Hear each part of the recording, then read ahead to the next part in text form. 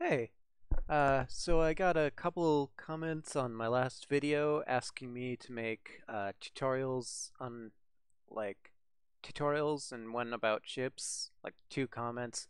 So I guess that's a worthwhile thing to do. So just to get started, we'll place down a starter block. Uh, you want to make sure it's like up in the air and kind of this blue color, because if it's green, uh, that'll make a like a ground structure, kind of like the, um, not viewing distance of it, but kind of like the starting area. So if you want to make a ship, you want it up here, and that's the first thing you do, and then you can place blocks on it, and uh, at this point, after you've placed like your first block or so, you can erase it, but uh, if you're building down on the ground, you might want to keep it around just because having this block uh, makes it so that your structure floats. Otherwise, if you erase it, it just kind of falls like this. Um, so I'll just start a new one. Uh, okay, so yeah, you basically want any shape. I've laid out the basic um, build the basic block shapes onto my toolbar from the codex, uh, which you open with tab if you didn't know, and yeah, you can just kind of you drag them uh, onto there. Oh, I want to. Yeah, and dragging replaces whatever's there. Um, just that's a basic thing to know if you didn't already.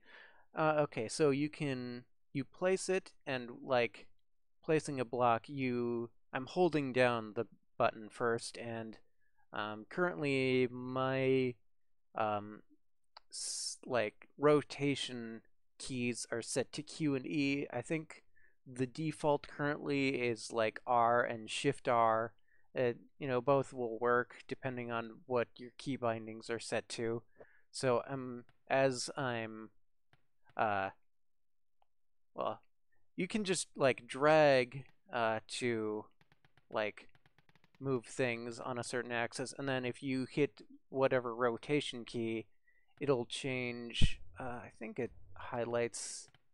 Yeah, I think the these up and down might be highlighted. Uh, the arrows, if you can see that. Although it's not very obvious in this lighting, but I think it it kind of shows. And so yeah, switching between switching the rotation things will switch between which axis axes are um, the dragging will work with. Although, it, let's see. I think, yeah, I don't know. It's kind of a thing you intuit after a while rather than doing consciously sometimes. Also, I think the way I placed it, I can't... Oh, wait, yeah, no, I can drag it up. Okay. So, anyway, let's just make a line like this, and then um, I think first thing I want to do actually is grab a seat. Uh, like, let's see, I think this, this, this, and this will all work as seats. You can just, you know, press F to sit on them. Uh, but I'm going to grab one of these. And, okay, you can see, rotate it as you need. I'll play, place that down, and then I think I will use one of the bricks. Uh, bricks are the smaller version of blocks. Um, and they kind of currently work differently from blocks. Like they don't provide heat or or as as far as like their mass doesn't um, dissipate heat, and they don't provide um, uh, HP bonuses. If I'll I hit tab, I can click here to look at the ship currently. Um, I don't know if it, yeah, well, okay, yeah, hull points are, as far as I know, they're only based off of what blocks you've placed. Like, bricks don't factor into it. Um, just currently, that, that might change in the future. Uh, so now I have a chair, and I think I'm gonna, oh, yeah, blocks uh, get a yoke and put it like that. And then, yeah, that's probably enough room for that. I'll just put down a spaceship computer, and then I'll go to my link tool and link this up to the, uh, yeah, the computer. And as you can see down there, uh, there's no power. Okay, yeah, no power. So yeah, the first thing we'll need is to put down a reactor, and we have a reactor block right here that That'll probably do for this size of ship, but if we need to, we can add more. You can also stretch these blocks out um, if need be. Uh, I don't think it really matters, but I'm not sure if it matters whether or not like all of the reactor blocks are part of the same like stretched bit or not. But um, anyway, now we have power, and then uh, the next thing we'll need for a functional spaceship is some sort of thruster. You can use uh, these, uh, I'm not getting a tooltip thing. Uh, if I, oh, am I not getting, okay, I'm not sure why I don't, there's no description showing. But uh, these are thruster blocks, um, and like these are the big block thrusters that these ones provide not only thrusting but like propulsion but also they allow you to go to light speed. Uh, these other ones are bricks brick based but they can be stretched up to about the size of blocks. They just uh, will like they'll be restricted to the maximum size that bricks have for size, and they also their heat balance is a little different. Um, but anyway, uh, so these kind will only do um, well. They will allow light speed. They'll also they'll only allow you to move backward and forward, whereas uh, these ones can allow you to move side to side and up and down if they're placed um, like on the either on the top and bottom or on the sides for um, maneuvering. And you can also place these on the back of a ship to provide forward propulsion. So that's good to know. Um, so yeah, you can. This might even be too big for this size of a ship, uh, but yeah, that'll be pretty maneuverable then. You could also just place them like this or you know, something in between, but I felt like making them that big. And you can also put them in the back to provide thrust. They little brick, the brick-based uh, thrusters provide more thrust per power, I believe, than uh, this kind, but they uh, use up a lot more heat. That's why I'm gonna get rid of them unless I uh, dissipate some of the heat by using more blocks. So I can stretch out like one of these. Uh, I might have, let's see, do I have, I might put the mirror tool on. Uh, I'll do. So you put it on like it'll be on like one axis. You can also rotate it like this. Uh, and, oh, yep, and you can rotate it like this. Uh, currently, you can only have like one, um, one of these uh, mirrors up at a time. So anyway, uh, with this mirror thing in place, it'll do the, a reflection of what I'm doing on the other side. The only um, the only like exception to that is if uh, you have something like uh, a, yeah a mechanism uh, like a, a rail um, or a oh, it's not even I don't know what's going on with tooltips like one of these rails or one of these rotors or one of the hinges and you can see the they have S for if they're um the small size, and uh, the rails have uh, both regular rails and add-ons, which just allow you to extend the size of a rail. Like if you place a rail down, uh, it'll extend it. Anyway, so the thing about uh, all of these mechanisms is that they create what is called child entities. So if I put one of these down, so you see it uh, it mirrors the the hinge here, but if I start placing a block onto here, uh, it is not currently mirrored because uh, currently the mirror tool doesn't support the child entities. Uh, probably should, probably will in the future. It just that's currently not supported yet. Um, but yeah, you can just place it like that uh, to kind of get what you need.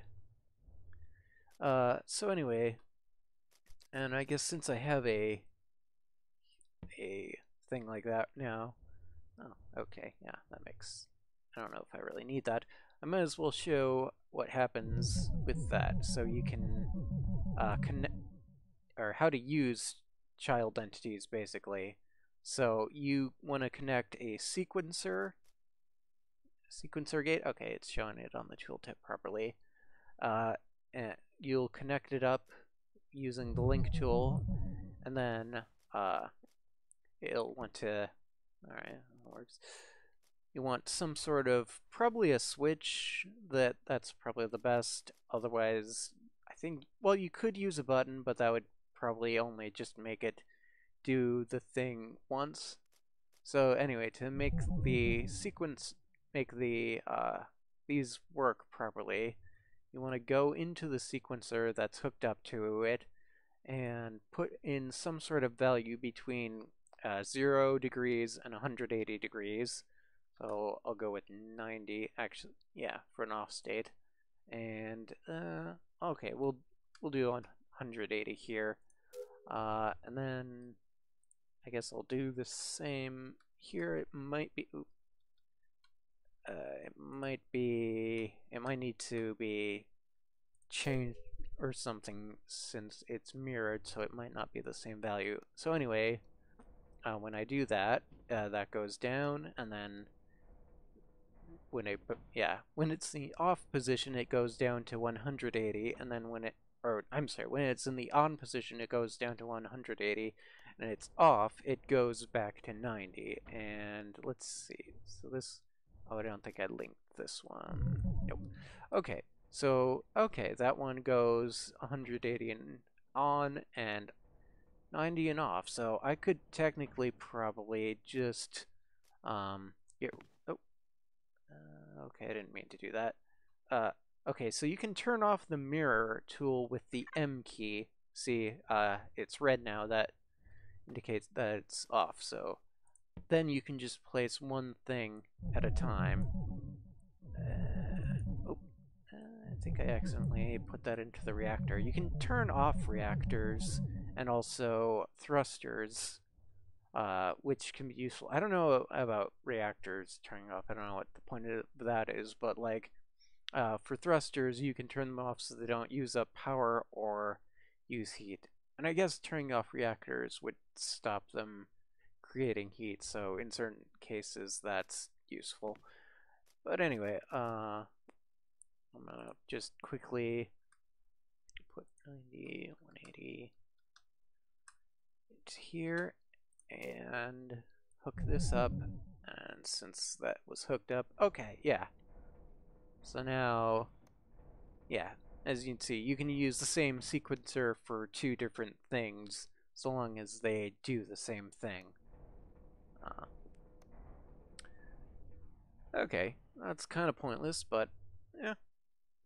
Alright, so so far we have um, I think we have basically a usable ship.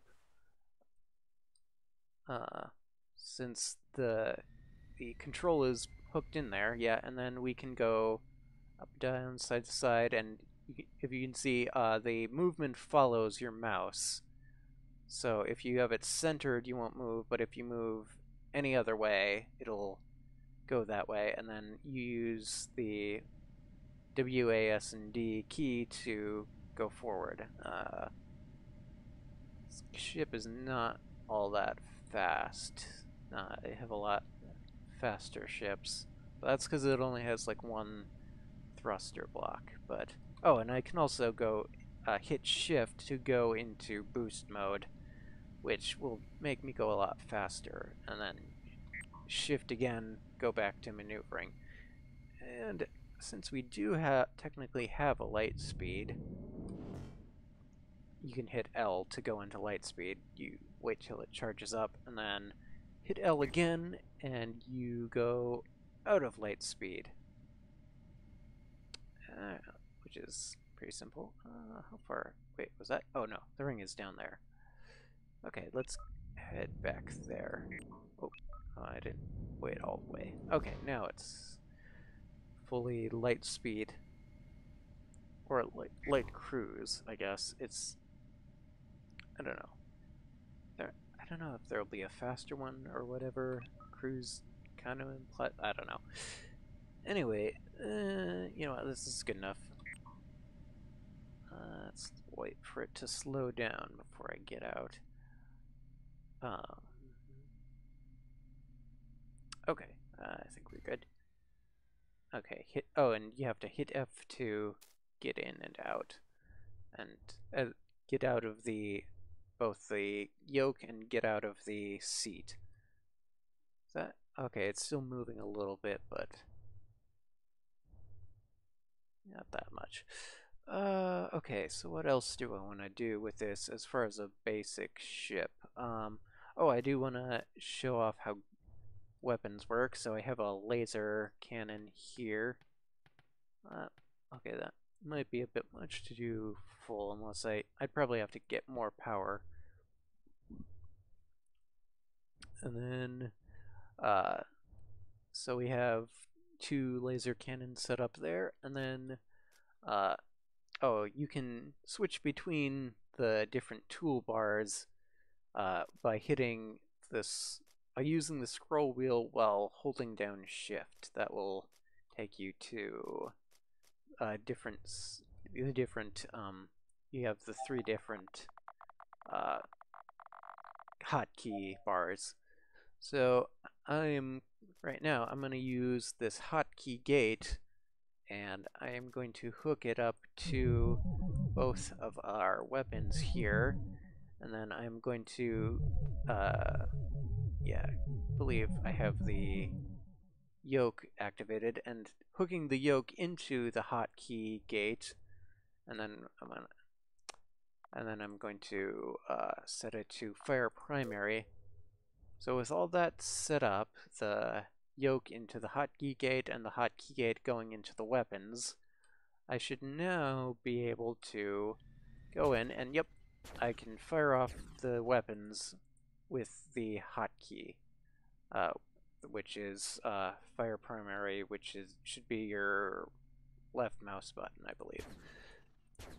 Uh, yeah.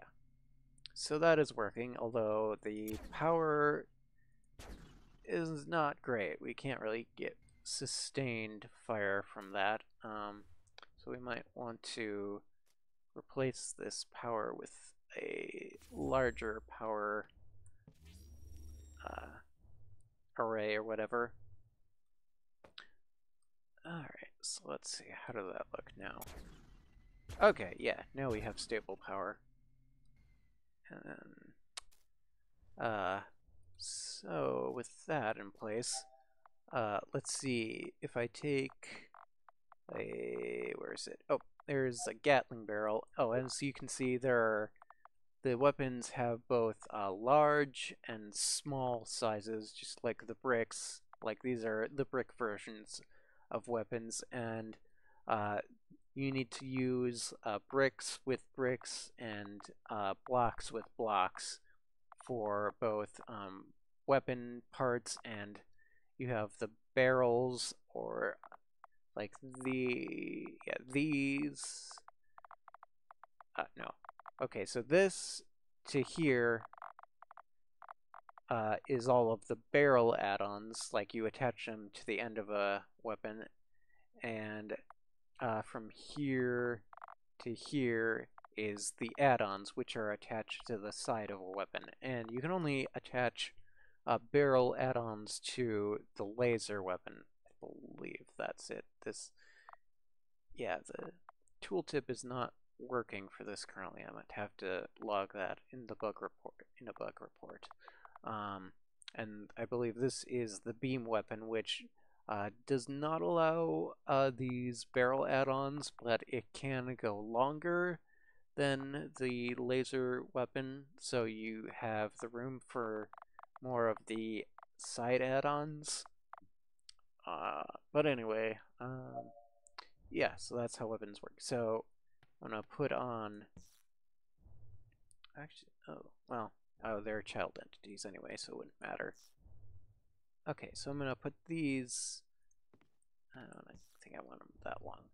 These Gatling uh, lays these Gatling barrels on, which will increase the fire rate, and then uh, I believe this is the yeah overheat add-on, which increases um, the heat, but allows you to do heat damage. Uh, and then yeah, okay, we really need. I really need. I'm sure once I log it, Asuna will fix what's fix this tooltip thing pretty quickly, because yeah, that's it's not great for figuring stuff out. Um, so anyway, so all I had to do, since the weapons are hooked up, is just put these onto the weapon, and they should do their job. And now, uh, as you can see, yeah, it's firing a lot faster. Huh, okay, I thought it would give more heat, but maybe I need to... Maybe I need to make them longer. Okay.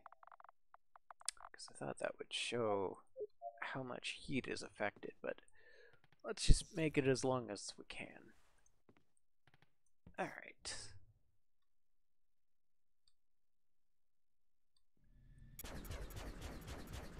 Wow, okay. Yeah, okay. I guess that is... Ah, okay. Oh no, wait, is that? No, I thought there was some recoil going on. Alright, let's just make this as long as we can. Okay, and then I'll have to hook these back up again because I erased them. Currently can't um, stretch things out uh, after you've built them, so you just kind of have to remake them. Okay, let's see what this does. And then this is probably going to do something with this much. Oh, especially if I add this. Okay. Uh, we'll see if this even fires. Okay. Well, probably will fire, but okay. But yeah, you can see uh, below the energy, the heat really... Oh, okay, we need power. The heat really builds up with this. Or, well, actually, it doesn't build up that much. More running out of power than heat at this point. So, let's just add in some more power.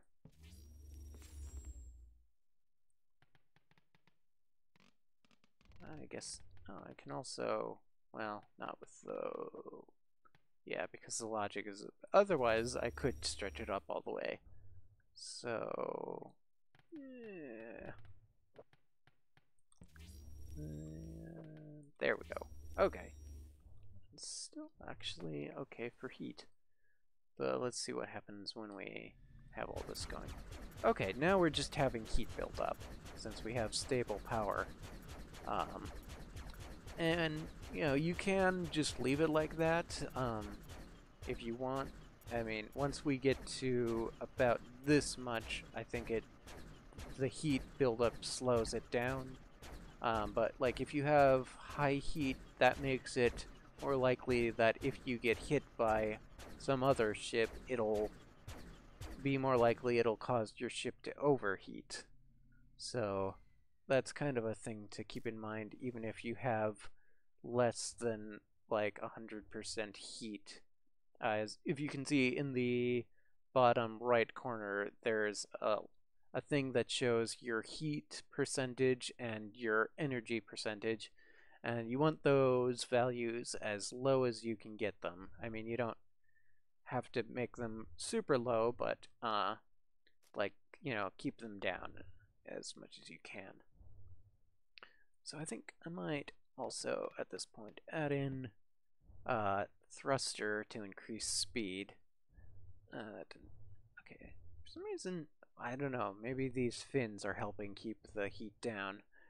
Uh, and I also wanted to, uh, while we're at it, um, make a hotkey that will, let's see, take it from the yoke, and then I believe I can just hook it to that switch.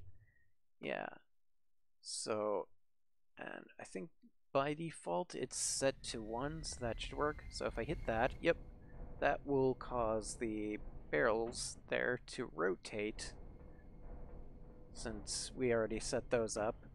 Um, so you can see if I go F4 to get to uh, third person mode, they rotate underneath.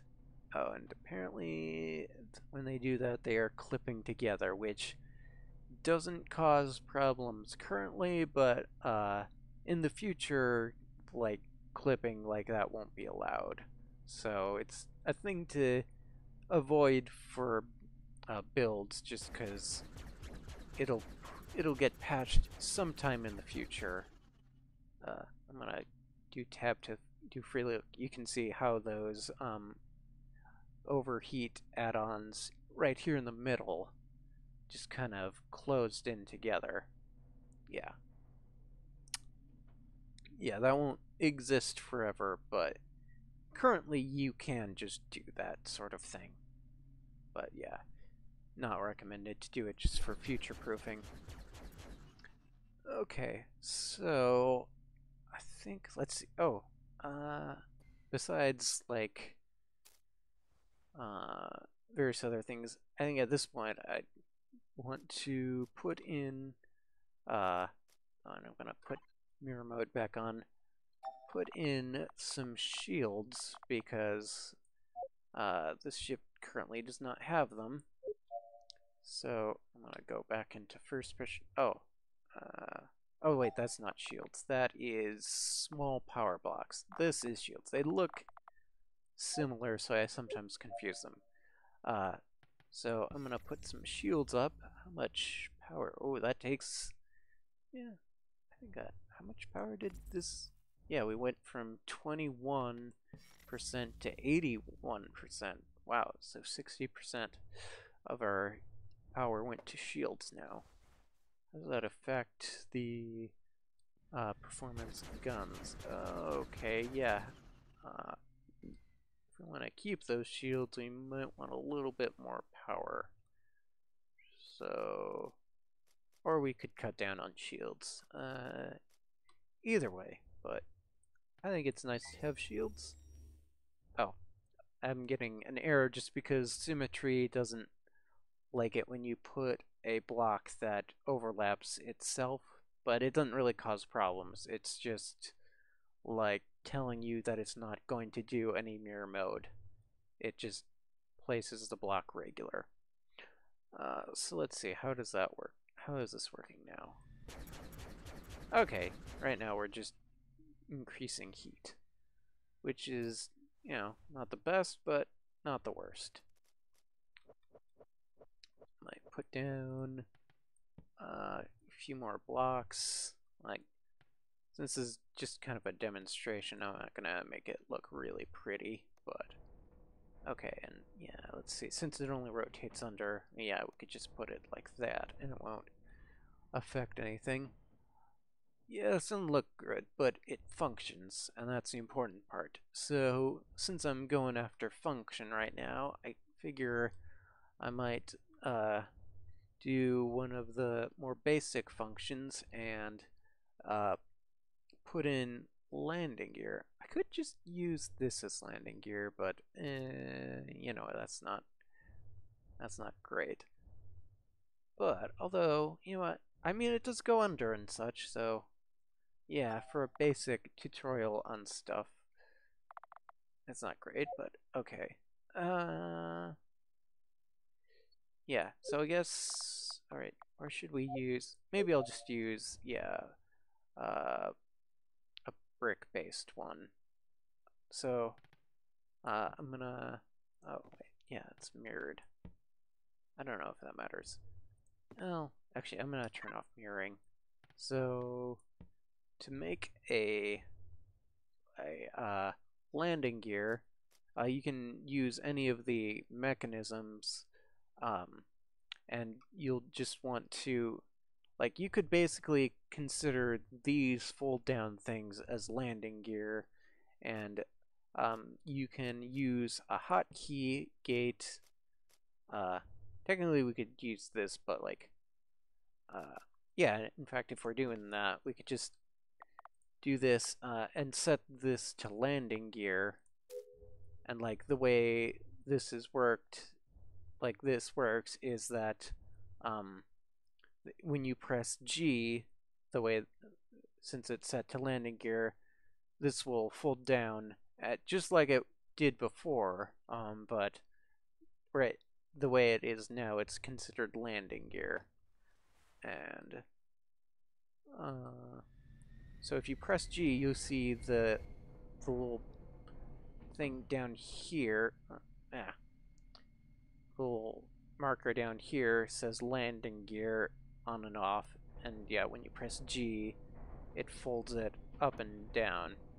And yeah, landing gear is whatever you designate under the hotkey as landing gear, because that's how the hotkeys work. It's it so it doesn't really matter. Um, so anyway, so but yeah, you can use whatever you want, like rails, uh, hinges, or um, rotors, and you can use those for landing gear. Whatever like you want. Uh, I might uh, do a second tutorial because it's getting a bit long here. I might do another one about how to do like a proper several sequence landing gear um, but yeah, just for purposes now, you can have very simple landing gear by um, uh, setting it up like, let's see, and I'm gonna, okay, yeah, setting it up to do whatever with the hotkey, and that's landing gear. So, and then we can have front landing gear with this because I believe, let's see, uh, I think I'll want, since this switch controls landing gear currently, I'm gonna uh, put this one into this sequencer and attach the sequencer to this rail and have the rail, oh, oh you can, uh, on any hinge or whatever, a rail, you can just hit F to cycle them through. And technically like you could just hook a uh, a switch up to a landing uh, like up to straight up to this rail or whatever and it would go to like its most extreme values and switch between them but um, I'm gonna use a sequencer because it's kind of best practices uh, I don't remember so you with the rails, you the baseline is zero, and then the the other end is like the maximum of whatever this thing in meters is. So uh, I think it's currently in off position. So for its on position, I want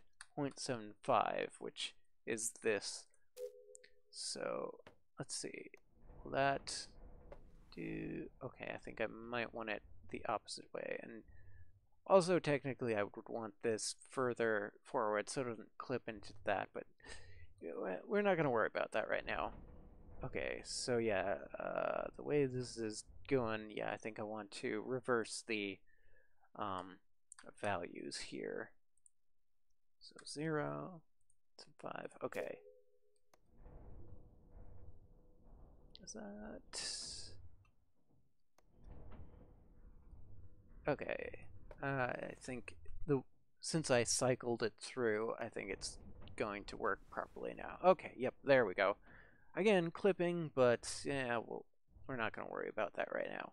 So that would put the thing into the land position, and you'd probably want like a more sophisticated setup for that, but uh, yeah, I'm not gonna go through that whole thing right now. The, you, the point is you can make a basic workable landing gear with just one animation of like a rotor or a, a rail, or wait, no, that's a hinge.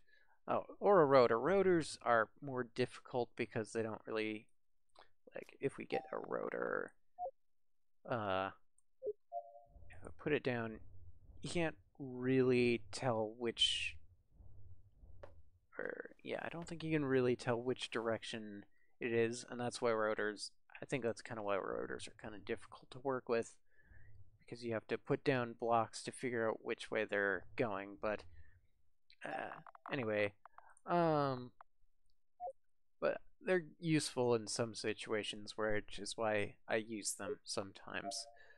Alright, so now uh, I think the last thing I'll go through is painting. Uh, so you can just kind of decorate like this, uh, or use, you know, um, you know, you've also got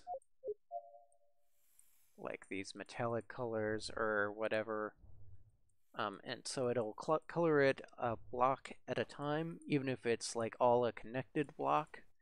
And if you hit one of these, oh, I guess, yeah, when you hit one of the like power or whatever, it'll do all of them.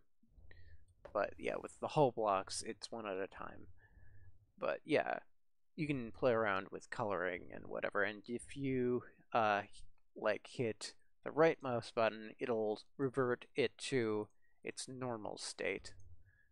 Uh, so that that's that's how colors work, and then decals um, are you can kind of stretch them out on a surface, and then you can also uh, uh, you can also color them like the individual ones, and you can also layer them uh, like that, and then color those individual ones, and then you can uh, get rid of them with the like right mouse button, which is basically it'll affect the right mouse button uh, will get rid of whatever it is in whatever like context it is like decals if you have a decal selected it'll get rid of decals if you have paint selected, it gets rid of paint. If you have a block selected, it gets rid of blocks.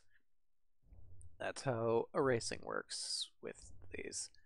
Um, but yeah, I think that is basically the basics of building a ship. Uh, there, you know, I can get more into like animating um, things and like logic, but I, as a basic tutorial on how to build a ship, I think uh, I think I pretty much covered it. And then there's various other things like cameras uh, and teleport pads and stuff that aren't really part of the ship, but like can help with it. Um, and also might go into turrets in a future thing, but that's I mean, this video has gotten a bit long, and then you've also got various decorative elements.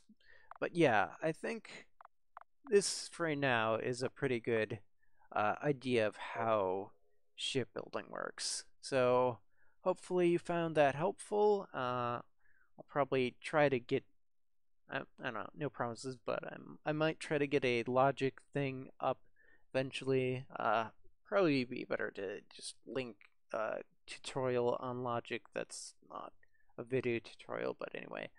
Uh, it's a pretty good one that will be helpful, and I'll probably put that in like the description anyway. But for now, uh, like, hope you enjoyed this, hope this was helpful, and I'll see you next time.